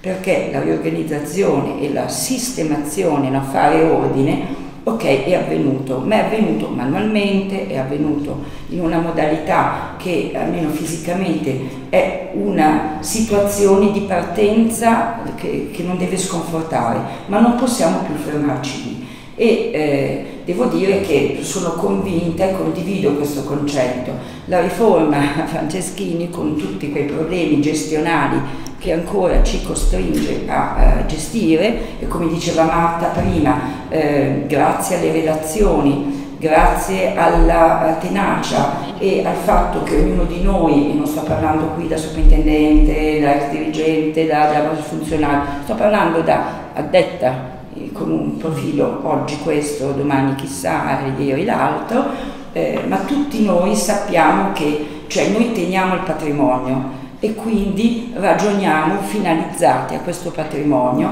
e forse siamo i primi a aver capito da un po' di tempo quello che eh, Valentina giustamente ha letto stamattina nella relazione del professor Balzani, non è una cultura cosale la nostra, da tempo noi ragioniamo con un'accezione di tipo patrimoniale inteso, perché altrimenti non, nessuno di noi avrebbe fatto fino ad oggi e continuerebbe a fare, ad agire così come sta agendo. Quindi questa riflessione per me è importante, è importante, la dobbiamo maturare ora insieme ai territori e alle comunità. Questo per me è, è tanto più vero e declinato, così come mi è stato chiesto, per i depositi archeologici. Quindi eh, Ada Gabucci l'aveva detto e insieme a lei e molti altri nei recenti approfondimenti c'è una bibliografia sul tema dei depositi e dei depositi archeologici molto interessanti. La riforma ha fatto a emergere il problema colossale dei depositi archeologici, perché noi dell'archeologia siamo quelli che spesso e volentieri arriviamo con delle casse ingombranti o delle soluzioni appunto di rimozione da scave, di smontaggi e rimontaggi impressionanti no, per un direttore di un museo, impressionanti, quando arrivo e dico dove lo metto sto forno fusorio, scatolato, ecco, quindi so di dire delle cose, cioè faccio riferimenti alla situazione, poi vedete qualche immagine di, di Imola ma di molte altre situazioni. Pensate a quante volte questi reperti che giacciono sono quintali, sono eh, quintali di materiali e di eh, appunto ehm, appostamenti provvisionali che sono necessari per conservare, ma ci pongono il tema di conservare per chi e come e dove per quanto tempo, torniamo lì, perché spesso questi eh, ingombranti materiali giacciono da decenni no, in depositi senza avere un'idea un di futuro e di una uh, visione verso una restituzione. Allo studio tante volte quando arrivano alla pubblicazione, ma se sono in una situazione intermedia di non restauro completato, non musealizzazione, sono in, un, eh, in una situazione tra coloro che sono sospesi in sostanza. Quindi la consapevolezza eh, non solo tecnica, cioè tecnico-specialistica rispetto alla problematica colossale dei, eh, dei reperti archeologici, dei depositi archeologici c'è, ma io ritengo che a questo punto dobbiamo parlare di una consapevolezza etica e mi voglio riagganciare ai temi di questa mattina, io queste slide le ho preparate prima quindi non, non c'è stato, ma ero sicura che stamattina si sarebbe parlato tra eh, persone che appunto mh, sul tema lavorano da decenni e che io ringrazio perché ci permettono oggi, oggi per chi si trova a dover fare poi delle scelte, eh, è stato anche formato no, in un certo qual modo ed è un tema anche di politica di gestione del patrimonio culturale, perché se non lo prendiamo in carico anche sotto questo punto di vista ci saranno certamente i potenziali danni scientifici ma anche patrimoniali dovuti all'indifferenza, un'indifferenza che non è ammissibile. È, si tratta di un patrimonio ingombrante okay, e che adesso ha raggiunto caratteri emergenziali è in continuo incessante incremento, l'ho detto, è vero per noi c'è una scarsità di spazi adeguati, tutti vorremmo sognare, ma noi siamo qui piedi per terra, quindi trovare gli spazi non solo nei musei, ma penso che nei nostri territori a tutte le latitudini, ma stiamo nel nostro paese, possiamo declinare questa necessità eh, facendo lo sforzo di leggere nelle realtà territoriali sovralocali, e qui il discorso di sistema e di rete io lo vorrei declinato non solo sul tema delle attività, ma sulla rete infrastrutturale, è stato accennato stamattina. Quindi il problema dello stoccaggio, della cura dei materiali, della gestione della sostenibilità. Proviamo a fare un censimento anche di luoghi, spazi che abbiano dei di idoneità, ma che non siano legati semplicemente alle realtà museali, che stiano in connessione con, con le comunità, ma probabilmente si tratta di edifici parzialmente dismessi o che comunque possono essere recuperati a una funzione pubblica. Quella dei depositi come servizio è una funzione pubblica sul patrimonio primaria e che si lega molto bene a quello sviluppo di progetti sull'idea dell'arca del patrimonio. Ok, quindi abbiamo tutti gli ingredienti, dobbiamo imparare a fare il sistema e insistere perché dal, eh, questo sistema venga lanciato, seguito, sostenuto, ma senza pause, senza metterci in stand by perché non è più sopportabile a livello centrale. Okay? Quindi torno sul tema della selezione, quindi la raccolta sistematica dei materiali dei reperti archeologici, so che sto toccando un tema, lo sto solo accennando, è molto sensibile, è importantissimo, guai, nessuno di noi rinuncerebbe alla logica dei contesti, ma attenzione perché troppo spesso, e ce lo siamo detto a bocca chiusa, questa raccolta sistematica è, è stata una raccolta indifferenziata, ok? Quindi il tema va posto al momento dello scavo e a bomba torniamo sul tema delle figure professionali che vanno formate, vanno allenate eh, e ci sono, e ci sono tanti giovani che adesso con, hanno anche un approccio eh, eh, mentale mh, molto, molto già pronto in questo senso. Dobbiamo avere il coraggio a questo punto di iniziare una via nuova e eh, il patrimonio archeologico, vuoi perché è arrivato a un punto emergenziale, eh, lo pone. Ecco, il caso di Imola effettivamente è un caso per cui io non ho nessun merito, come potete fare quello di Modena, perché abbiamo dei depositi eh, grazie ai, a, ai sani e longevi rapporti con eh, gli enti locali, ma anche in Romagna, anche, eh, ci sono tantissimi casi di, ehm, di depositi museali già rispondenti, ma depositi, e il caso di Imola eh, ci permette questa, questa, questo accenno, a un deposito che non sta, è del museo civico, ma non sta in un museo, sta nel vivo del cuore della comunità ah, e eh, sta in un centro polivalente dove ci sono scuole, ci sono servizi alla comunità, servizi di welfare, sportelli per le mamme, per le famiglie. Quindi l'immagine del dentro e del fuori vi fa capire eh, come tutto ciò è già in parte in realtà. Guardate, qua c'è il Museo Civico Deposito Archeologico, palloncini di una festa di compleanno fuori, ma qui eh, io so che sto eh, raccogliendo, eh, io ringrazio eh, chi ci ha lavorato tanto e conosce bene questa realtà bellissima e quindi l'accessibilità, eh, il deposito aperto, seppur con le caratteristiche nostre,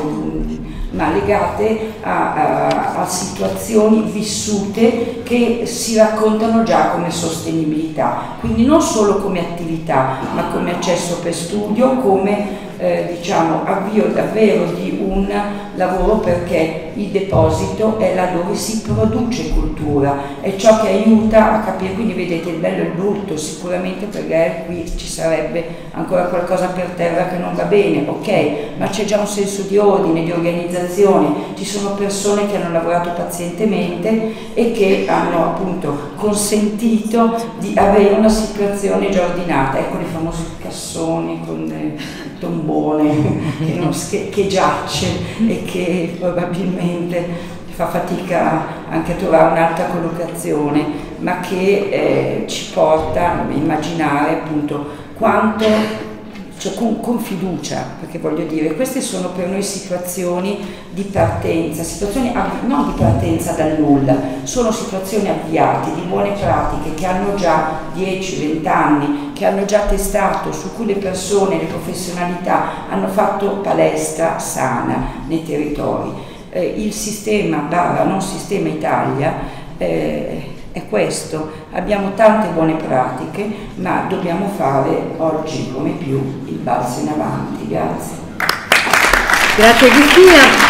per aver riportato il tema della comunità e patrimonio, un tema molto caro, io penso a noi di ICOM e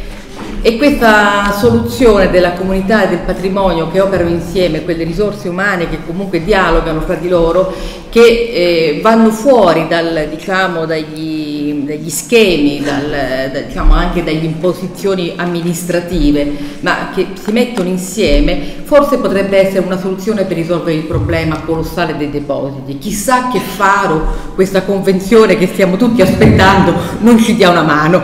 Quindi io adesso passerei appunto la, uh, la parola ad, ehm, a Domenico Sedini che è quindi all'impresa, all'impresa, all'Art Collection Management di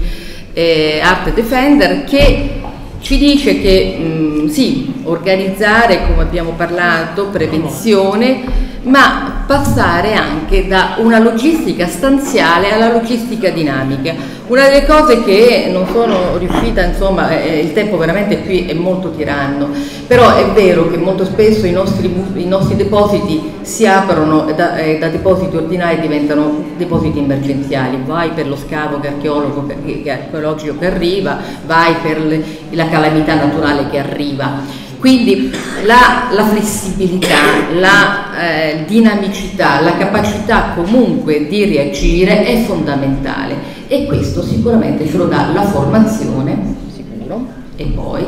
anche magari un metodo. Grazie. Eh, grazie. Eh, grazie a tutti, sono particolarmente lieto di partecipare a questo alto consesso, eh, anche perché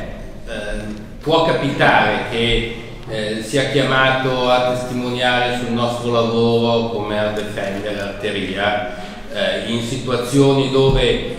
risulta non sempre facile adattare il nostro messaggio, che è un messaggio di, di, di lavoro di una società privata, eh, rispetto alle esigenze del pubblico. In questo caso veramente parliamo la stessa lingua, anche se, se vediamo, eh, vedremo che eh, diciamo, i, i, i, referenti sono diversi, le situazioni sono notevolmente diverse, però eh, il fine ultimo, la mission come oggi diciamo, eh, legata alla nostra attività è identica perché eh, riprendendo appunto il, il titolo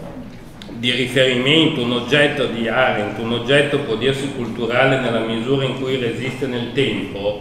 questo è tendenzialmente proprio la volontà nostra come, come società di offrire dei servizi che permettano eh, di garantire la trasmissione dell'opera d'arte alle generazioni future.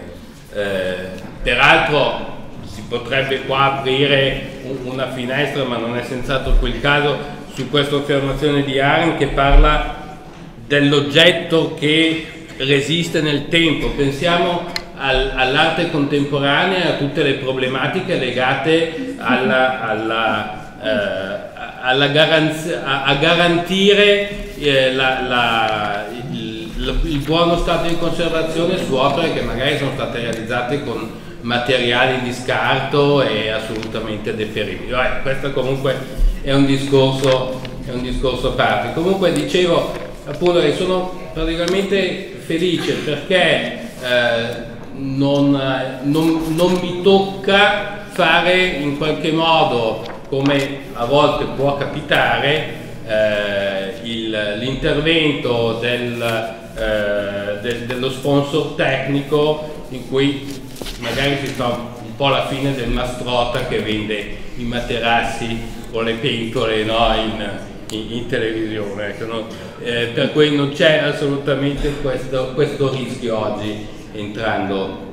in argomento. Eh, vi dicevo appunto la nostra attività si sposa assolutamente con questa necessità di, eh, di conservazione del patrimonio e la nostra storia, eh, se voi la conoscete come Arteria Bar Defender, è legata proprio a questo. Eh, tendenzialmente per chi non la conosce, eh, l'attività la, prima di arteria nasce intorno all'inizio degli anni 2000, mai, ecco, posso incominciare magari a far vedere qualche slide. Sorry. Come si fa a portare avanti questa? No, quello di destra, è quella di destra. Scusate, eh, faccio... Ecco. Eh, nasce da esperienze precedenti eh, di piccole realtà locali che ad un certo punto si mettono insieme in un disegno comune e creano questa società legata, eh, diciamo, eh, di dimensione nazionale con anche riferimenti importanti soprattutto sul mercato americano, eh, dei, soprattutto per quanto riguarda i trasporti museali americani e anche giapponesi in particolare, eh, è legata eh, alla, eh, al trasporto eh, in sicurezza delle opere d'arte eh, è inutile che adesso stia qui a raccontarvi le, le capacità di, di, arteria che presumo, spero siano conosciute sul mercato, eh, è divisa in diversi settori a seconda delle esigenze, c'è eh, un, una, una, un campo legato alla all'attività eh, di riferimento con i musei, un, un'altra eh, parte della società legata all'attività eh, per quanto riguarda i privati, le gallerie. Esiste un'attività abbastanza recente legata anche alla, alla costruzione di teche e di cornici di sicurezza che permettano eh, sia da un punto di vista eh, diciamo così, fisico che anche di conservazione la possibilità di eh, garantire eh, delle condizioni ehm, assolutamente ideali per la conservazione dell'opera stessa. Insomma è un'attività che eh, essendo partita appunto all'inizio degli anni 2000 ad un certo punto ha trovato come suo sviluppo eh, ulteriore quella di costituire eh, dei depositi per la conservazione delle opere d'arte. Questo in un modo molto eh, banale se si vuole, perché molto spesso i nostri clienti, soprattutto clienti privati, chiedevano non solo il trasporto ma anche una eh, custodia a lungo termine di beni che per esempio una fondazione eh, di carattere bancario o anche un collezionista privato non era in grado di custodire a casa perché diciamo, non, non, non c'erano più gli spazi per, per poter eh, conservare tutte le opere d'arte in casa piuttosto appunto dicevo per una fondazione nei locali della fondazione stessa. E quindi nasce nel 2010 nasce eh, Art Defender che eh, opera es esattamente nei termini eh, mm, nei quali oggi, dei quali oggi abbiamo, abbiamo, discusso, nel senso che eh, eh, la, la, ehm, si garantisce la sicurezza sia dal punto di vista eh, del, de, de, del furto, quindi tutte le problematiche legate a una struttura veramente forte de, dell'edificio, sono tutti edifici di nuova costruzione, eh, costruiti anche con criteri antisismici, eh, dopodiché eh, abbiamo eh, tutto il, il, discorso legato alla sicurezza antincendio, quindi anche con dei, con dei criteri, degli strumenti eh, di sicurezza per quanto riguarda appunto la, la gestione eventuale di un problema di questo, di un, di questo tipo. Eh,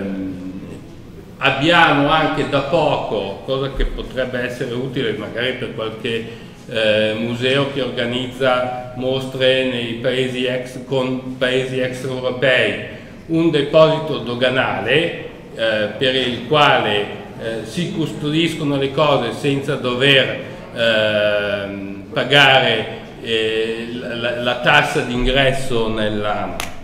nella, doganale nella, eh, nel, nel, nostro paese e eh, inoltre abbiamo tutta una serie di servizi accessori, eh, in particolare il laboratorio di restauro, eh, quello di, eh, di, Calenzano in particolare è eh, assolutamente eh, dotato di, delle strumentazioni più adeguate eh, per la conservazione degli oggetti e, e, il, e la e il, il, restauro del, del, patrimonio artistico, eh, studiato inizialmente insieme all'opificio delle pietre dure e eh, nel quale eh, è possibile che i restauratori per situazioni particolari o perché l'opera è particolarmente importante o perché ha dimensioni così grandi da non poter essere eh, restaurata nel, nell'ambito del, dello studio di restauro, vengono portati all'interno di questi spazi e eh, restano per, tutti, per tutto il periodo del restauro fino alla, alla riconsegna al cliente. Eh, e poi appunto abbiamo, ripeto, tra i, eh, i servizi eh, integrati eh, legati appunto alla, eh, alla, alla, gestione delle opere d'arte, siamo in grado anche di offrire le indagini diagnostiche e i trattamenti di disinfestazione nel caso in cui le opere fossero attaccate da parassiti. Ultima, ultimo argomento, peraltro importante perché ho visto che è riportato anche nell'ambito della presentazione, è l'attività di stima e di consulenza, eh, cosa peraltro importante soprattutto per quanto riguarda la, la stima patrimoniale delle opere che soprattutto per, per eh, eh quanto riguarda i privati e, e, quando penso ai privati non, non si parla soltanto di collezionismo ma si parla per esempio delle fondazioni bancarie io ho avuto un'esperienza in questo settore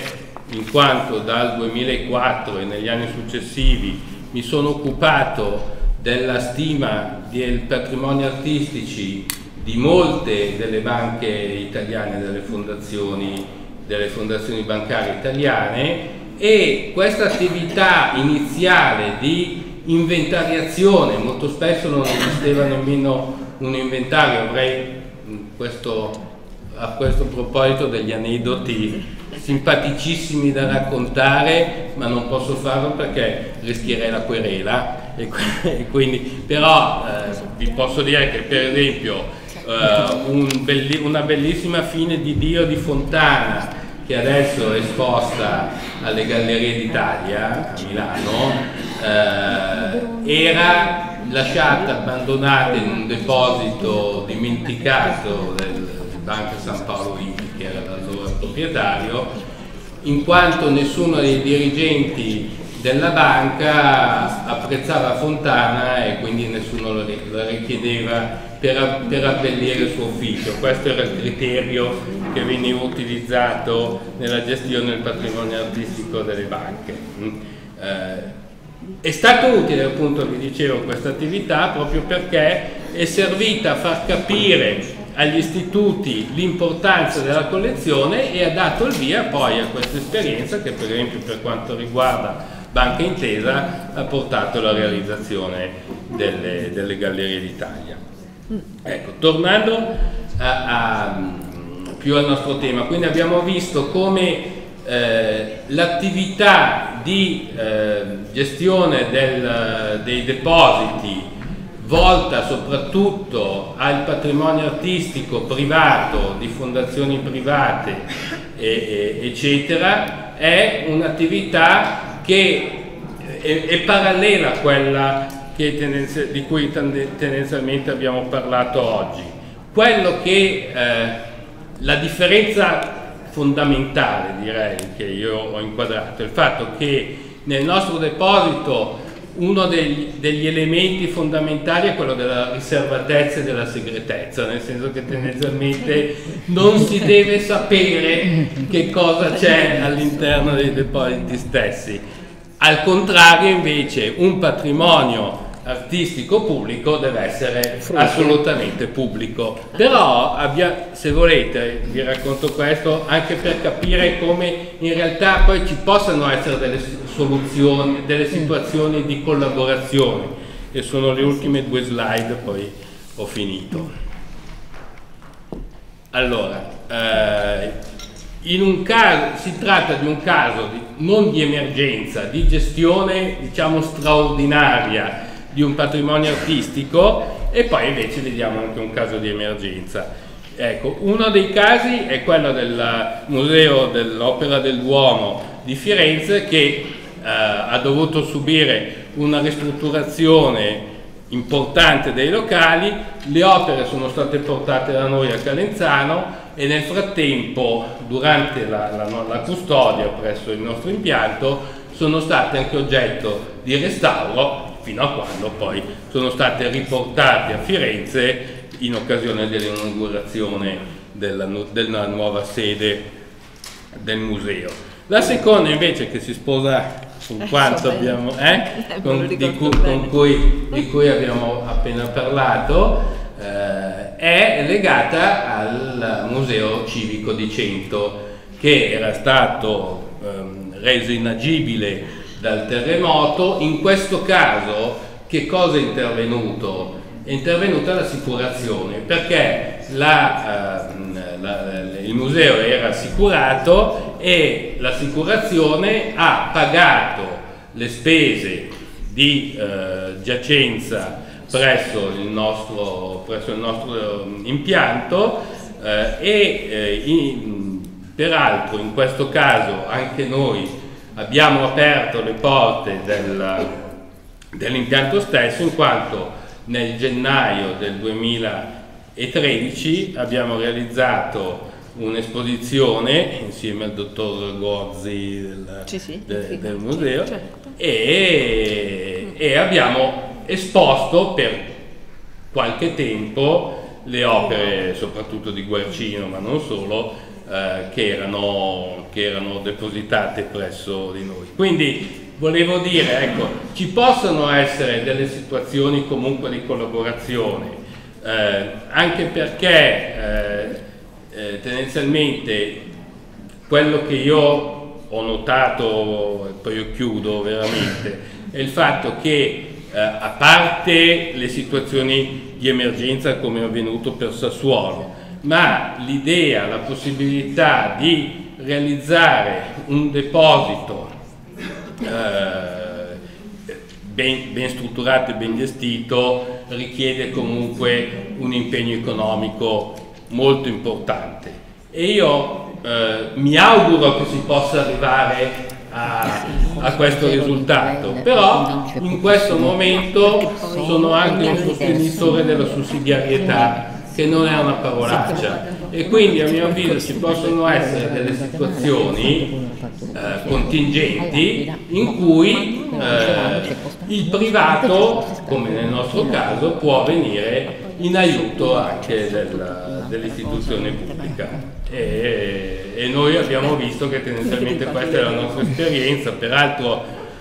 e poi chiudo davvero,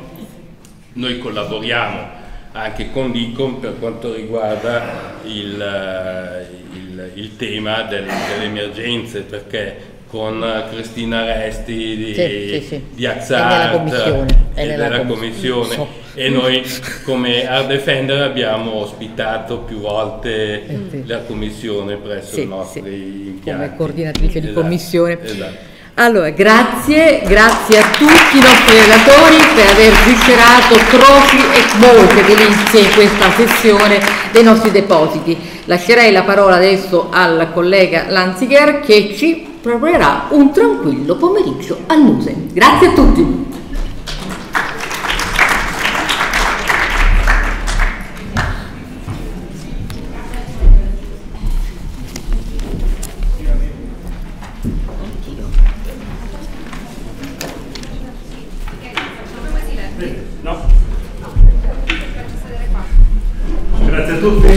Buonasera. Entriamo nella fase di dibattito con interventi programmati, temo che ci saranno più interventi programmati, molto programmati che dibattito. E, insomma, abbiamo parlato anche del rapporto tra collezioni e il nostro pubblico, per amore di sintesi. Che faccina pensiamo che facciano i nostri visitatori e i nostri pubblici quando diciamo, beh, parliamo delle nostre collezioni? Allora io vi farei vedere come abbiamo promosso eh, un pomeriggio, dei pomeriggi a visitare nostre collezioni.